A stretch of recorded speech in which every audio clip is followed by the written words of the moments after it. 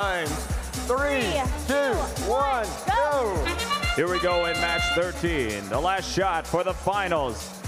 Blue and red coming out to midfield for game pieces number four and five.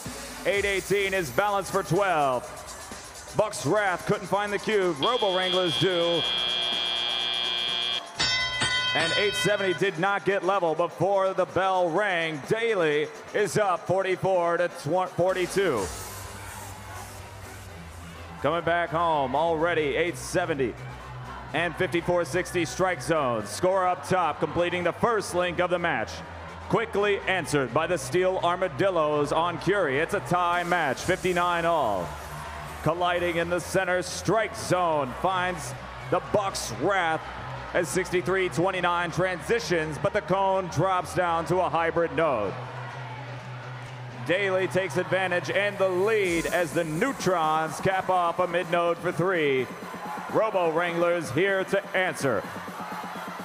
Cube goes in for three, and Curie pulls ahead by two. 85 seconds for the fight for the last spot. 125 switches to defense as they hold off the Bucks Wrath. Then they switch back and head across the charge station. Aiming for a mid node, they get three points for the Daly Alliance, who now tried to pull in the lead, quickly pulled back for the Curie with a cube and a link, thanks to the Steel Armadillos. Less than a minute for play. It's all tied up. Blue Alliance 54-60 gets a link up top. That'll be six for the Daly Alliance.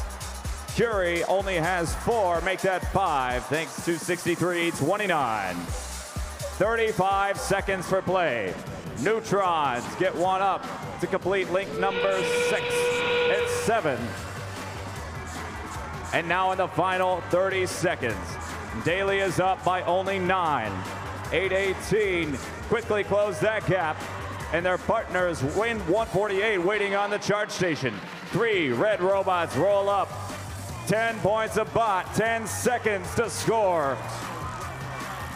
NUTRONs get one more low node scored, and they balance. Three, two, one.